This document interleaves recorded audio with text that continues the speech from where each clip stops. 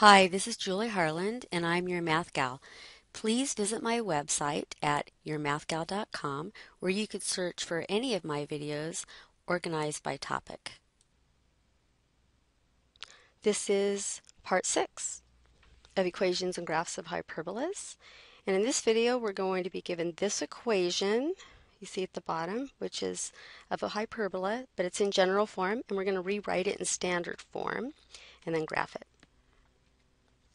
So here's the problem.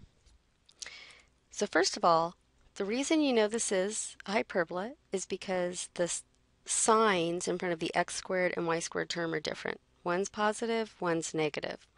So in this case, that tells us it's a hyperbola. And to get it in standard form, we need to make sure that we group the x squared and x term together. So we're going to have to do some completing of the square here. So I'm going to put the x squared and the x term together.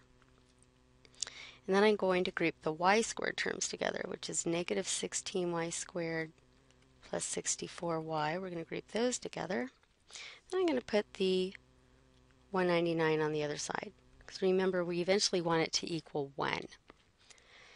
Okay, now to complete the square, I have to have a 1 in front of the x squared term.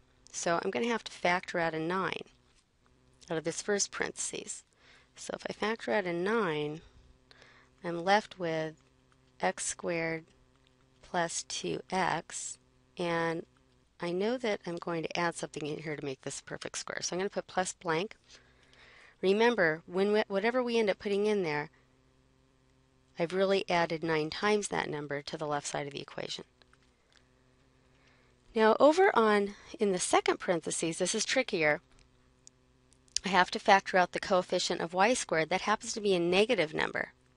So really, I could put plus a negative 16, or you might just want to write that as negative 16. Now it's trickier factoring out negatives but anytime you factor something out of a parentheses, to figure out what's in the parentheses, you just divide by that number. So if I factor out a negative 16, it's like dividing this negative 16 by negative 16. That's how come it's a y squared.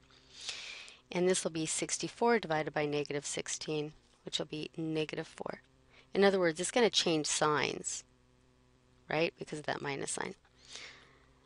And by the same token, whatever I am going to add in this parentheses to complete the square, I'm going to have to remember it's really negative 16 times that number that I've added to the left side of the equation.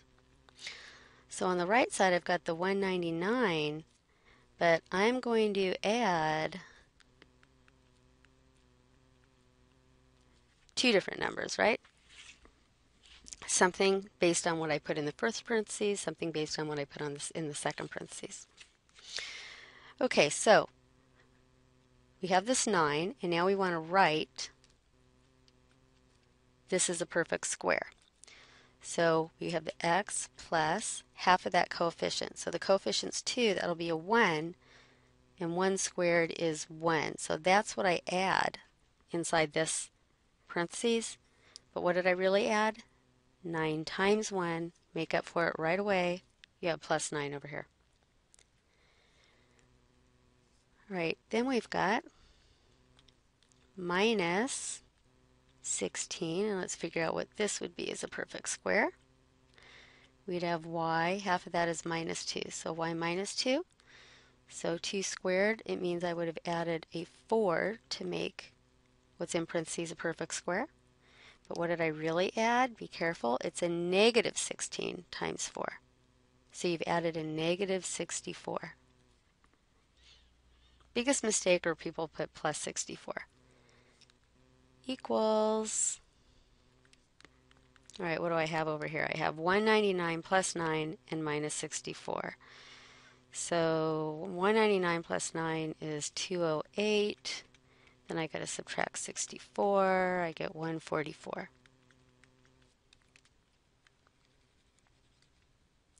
Okay, not quite in standard form yet because I don't have it equaling to 1. So my last step would be to divide everything by the 144.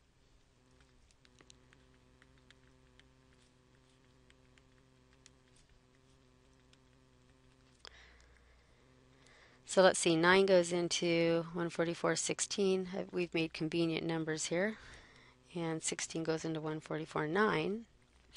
So I end up with, for standard form, x plus 1 squared over 16, or if you want to write it as 4 squared, you could do that, minus, don't forget this minus sign, y minus 2 squared over 9, which if you want, you could write as 3 squared equally 1. It's your choice if you want to write as 16 or 4 squared or 3 squared.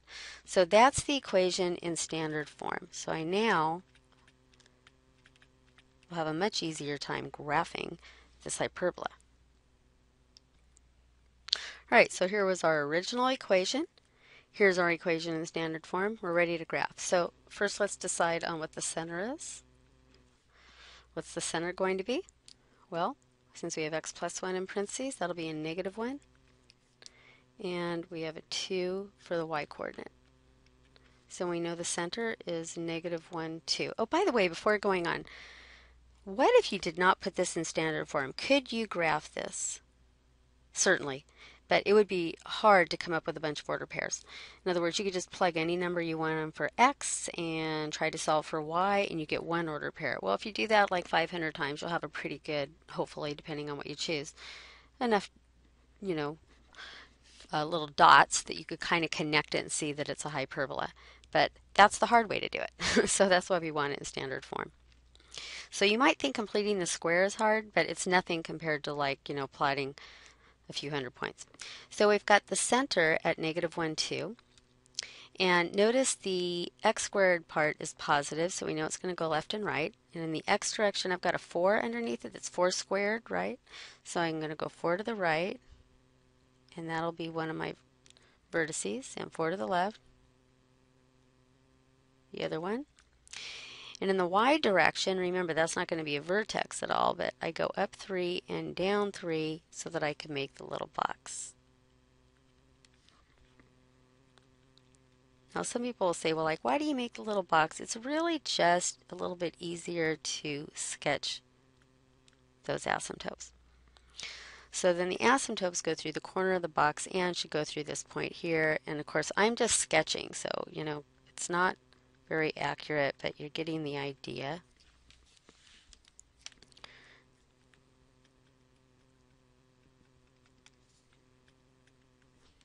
Okay, so we've got the hyperbola opening left and right instead of up and down since the x squared part is positive. So there's the graph of the hyperbola. Now, if you want, just keep in mind, you, you know that the slopes of the asymptotes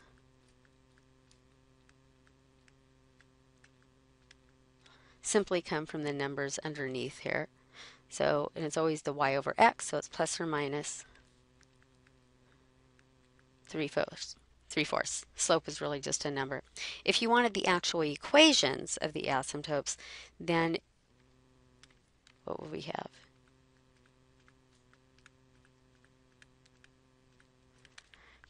You would have y minus 2 equals, well, there's two different possibilities, either plus 3 fourths or minus 3 fourths times x plus 1. And then, of course, this you could simplify by um, writing it as in slope-intercept form. But I didn't ask you to do either of things, but if you look at it, you should say, does this look like it's about a slope of 3 fourths, and this other one, slope of negative 3 fourths, etc.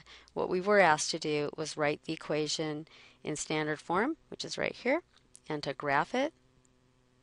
But there's all sorts of other things you could note, like the vertices. Right? The vertices are right here. So one is 3, 2. And the other one was over here at, what's that, negative 5, 2. So, you know, once you have the hyperbola there, there's more you can you know, more things you can discuss. And in fact, I haven't gotten to uh, what a hyperbola really is, how it's defined.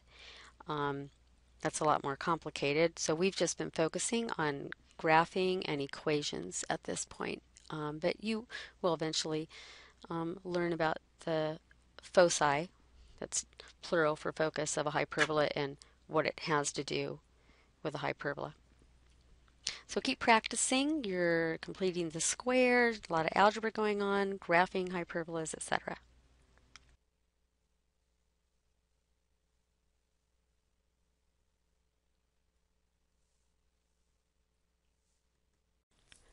Please visit my website at yourmathgal.com where you can view all of my videos which are organized by topic.